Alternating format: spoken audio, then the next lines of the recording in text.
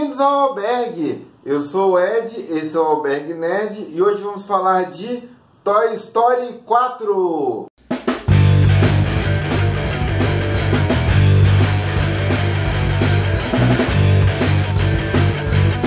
O Albergue Nerd!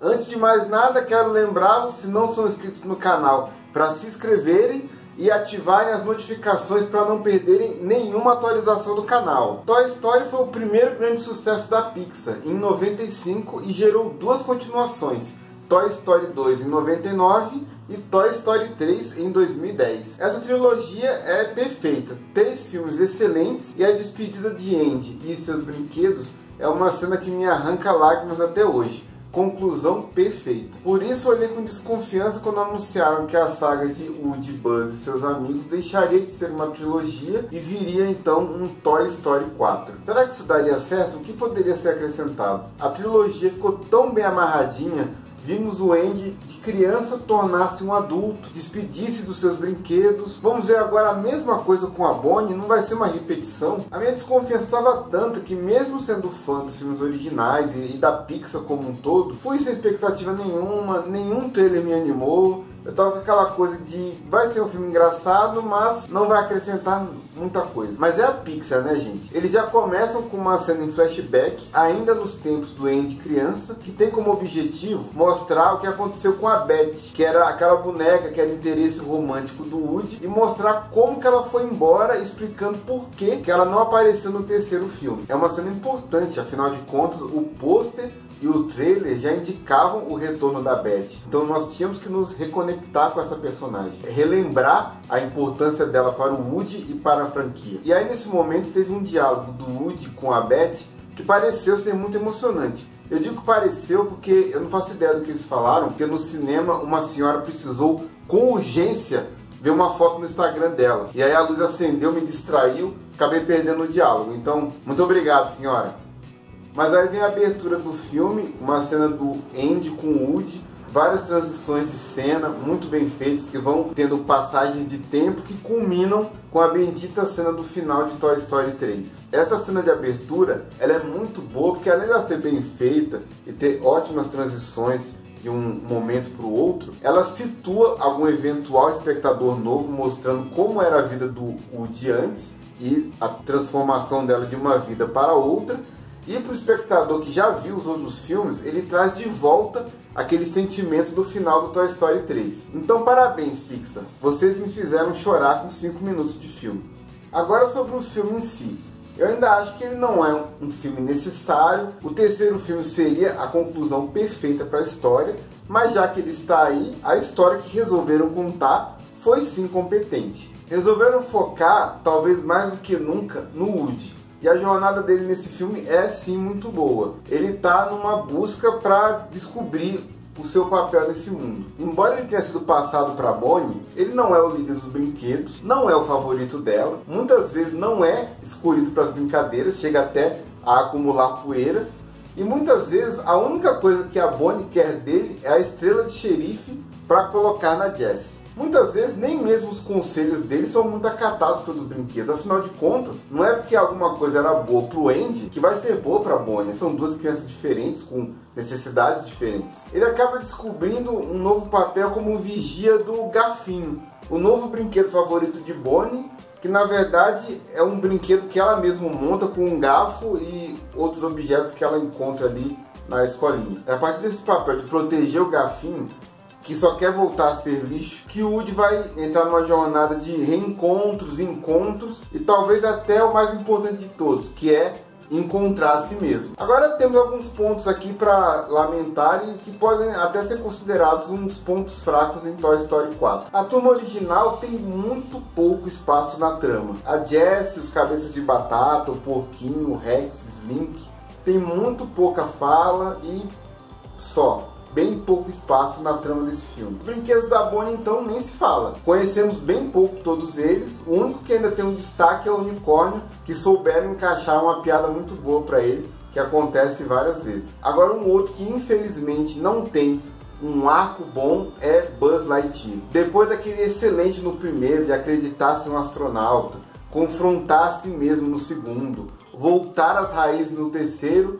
Aqui eles usam um arco da voz interior, que é divertido, sim, tem vários momentos muito engraçados, mas não passa muito disso e infelizmente Buzz não tem um arco para chamar de seu em Toy Story 4. Porém, na resolução da jornada do Woody, o Buzz tem sim um papel fundamental que merece aplausos e é emocionante e bonito. Faz jus à amizade dos dois ao longo de toda essa agora quadrilogia de Toy Story. Porém, como tive já testemunho aí de amigos, pode gerar polêmica mas são coisas da vida, eu pelo menos gostei. Porém, se faltou cenas da turma original, o filme está repleto de novos personagens, com destaque aí para a dupla do Pato e do Coelho, que roubam a cena sempre que aparecem. Eu gosto principalmente quando eles vão contar algum plano ou ideia para os outros personagens. Eles são personagens bem inventivos e criativos e acrescentam bastante a turma de brinquedos. Duke Kabum é um outro personagem novo, um boneco dublê, que também tem uma história com uma criança. Lembra daquelas propagandas de comandos em ação, que eram repletas de ação,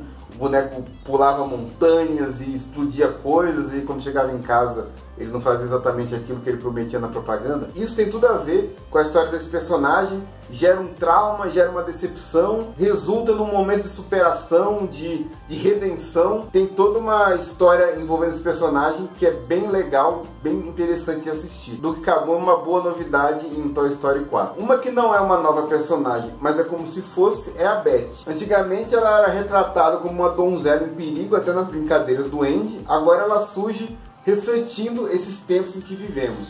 Uma personagem feminina forte e totalmente integrada na ação. Beth é um brinquedo perdido, vivendo errante, tendo a sua própria turma, vivendo suas aventuras, sem que a sua felicidade dependa de uma criança para ser sua dona. Ela cria o seu próprio caminho. Toda essa, essa perspectiva nova da Beth vai ter influência na jornada do Woody. Eu gostei muito da nova visão que deram para Beth. É uma tremenda evolução e acrescentou bastante para a história. E a vilã, a boneca Gabi Gabi, outro que eu gostei muito, pois assim como Lotus e o Mineiro, outros grandes vilões da franquia, ela tem a sua origem na falta de amor, no abandono e na solidão. Algo que traz bastante complexidade, traz aquelas perguntas, né? o que torna uma pessoa má. Ninguém é mal simplesmente por ser mal, né? Tudo tem uma origem, tudo tem uma razão de ser. É, não justifica, mas explica, sabe aquela coisa assim. E ela também tem essa complexidade, né? Tem uns tons de cinza que são muito bacanas de acompanhar. Já que eu falei no Lotso, enquanto o Sunnyside era aquela creche simpática, convidativa, embora escondesse uma coisa maligna ali. O quartel-general da Gabi Gabi, que é a loja de antiguidades, ela tem um aspecto sujo, opressor, que parece que saiu direto de um filme de terror, o que é reforçado pelos bonecos que são os capangas dela. São totalmente assustadores, no jeito de andar, no rosto deles. E nesses tempos de Annabelle, né, eles são até mais, mais, assustadores ainda. E a resolução da Gabi Gabi foi por uns caminhos surpreendentes que achei interessante e arrancou-me algumas lágrimas que emocionou. Tem umas frases que realmente mexeram comigo. Por fim, Gafinho não achei um personagem tão interessante. Em algumas vezes ele é irritante, na verdade e imperdoável, uma cena crucial no final é estragada por ele em prol de uma piadinha, maldito gafinho, tenho vontade de esganar o gafinho, mas eu entendi que ele é muito mais um artifício de roteiro do que um personagem, ele tá ali mais para mover o Woody na jornada dele, ser uma motivação, então eu entendi que o gafinho tá ali para isso, então incomoda um pouco, mas dá para relevar. Toy Story 4, um filme que é desnecessário, mas ao mesmo tempo não é inútil. Foca bastante no Woody, é uma resolução para ele, uma conclusão para ele, pelo menos por enquanto, né? Traz muitas transformações para esse personagem. Analisando por esse lado de fazer justiça ao Woody, acaba que torna o filme um pouco mais digamos, importante para essa franquia. E por fazer justiça a alguns personagens como a Beth, e um momento ali entre o Woody e o Buzz que é bonito de ver. Resgatar aquele momento do terceiro filme no começo. Então, todo esse sentimento, que são personagens que estão com a gente desde 95, são muitos anos juntos de estrada, né? Então, trazer esses personagens de volta, por mais que não seja necessário, ainda é gostoso revê-los. Então, por tudo isso, valeu ter ido ao cinema e, e recomendo para quem ainda não foi rever esses personagens tão queridos. Curtam o vídeo, compartilhem, se inscrevam no canal se ainda não são inscritos, não se esqueçam das redes sociais, Alberto72, Instagram, Twitter e Facebook. Sigam e curtam a gente lá. Nos vemos no próximo vídeo, ao infinito e além.